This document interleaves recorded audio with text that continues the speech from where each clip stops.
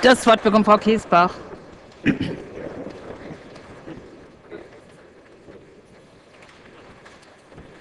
Sehr geehrte Frau Bürgerschaftspräsidentin, meine Damen und Herren, werte Kollegen von den Linken, ich muss ehrlich sagen, dass mich Ihr Antrag schon ein wenig ratlos macht. Ich schließe mich den äh, Worten meiner Vorrednerin an. Sie fordern einen Masterplan für Senioren mit Migrationshintergrund. Masterplan 2020, das hört sich immer ganz toll an, aber manchmal hilft es auch eben gerade nicht, den großen Bogen zu schlagen, sondern, sondern sich konkrete Punkte herauszunehmen, die verbesserungswürdig sind. Sie listen in Ihrem Petitum des Antrags alle Lebensbereiche auf, die pauschal äh, alle älteren Menschen mit und äh, mit wenigen Ausnahmen auch ohne Migrationshintergrund betreffen und fordern den Senat ganz allgemein auf, Handlungsfelder und Zielvorgaben hierfür auszuarbeiten. Ich mache hier ungern Werbung für die Arbeit des Senats, aber ich muss an dieser Stelle doch den Hinweis meiner Vorrednerin Frau Zimmermann aufnehmen. Es gibt das im letzten Jahr neu aufgelegte Hamburger Integrationskonzept und dieses Konzept beinhaltet unter anderem die integrationspolitische Seniorenpolitik. Übrigens wurde dieser Bereich Seniorenpolitik für Menschen mit Migrationshintergrund auf Antrag der FDP überhaupt in das Integrationskonzept aufgenommen. Darauf möchte ich hier an dieser Stelle noch mal gern hinweisen. Ja.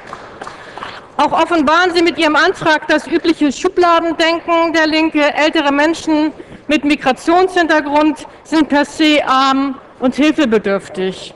Auch wenn feststeht, dass für Menschen mit Migrationshintergrund eine dreimal höhere Armutsgefährdung besteht, so legitimiert, legitimiert dieser Umstand sie nicht die Senioren mit Migrationshintergrund pauschal arm und hilfebedürftig zu reden. Insofern entsteht hier für mich der Eindruck, Sie fordern mal wieder ein Konzept um des Konzepts willen. Es gibt sicherlich in einzelnen Bereichen Handlungsbedarf.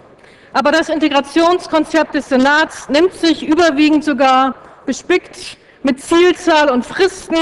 Das kennt man sonst vom jetzigen Senat eher nicht so einige Handlungsfelder vor. So sollen zum Beispiel in den Pflegestützpunkten Zielgruppen spezifische Informationsveranstaltungen durchgeführt und kultursensible Angebote geschaffen werden, um sprachliche und kulturelle Barrieren sowie Informationsdefizite im Pflegebereich zu beheben.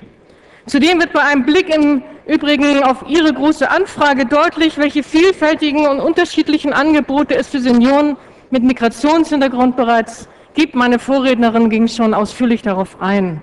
Die Angebotspalette reicht von interkulturellen Seniorentreffs mit Beratungs- und Freizeitangeboten bis hin zur Zusammenarbeit mit muttersprachlichen Ärzten.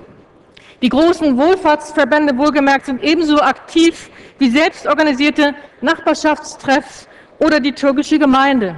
Es gibt viele gute Ideen und Maßnahmen, die weiter ausgebaut werden sollten, zum Beispiel Wohngruppen für türkische Demenzkranke in Wilhelmsburg.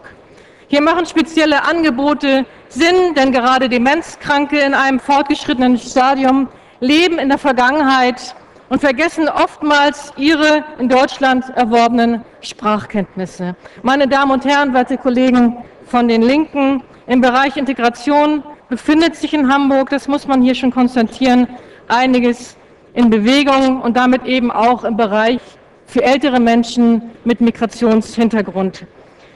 Weshalb nun zusätzlich ein staatlicher Masterplan 2020 für Senioren mit Migrationshintergrund notwendig ist, ist vor diesem Hintergrund nicht verständlich. Insofern lehnen wir Ihren Antrag ab.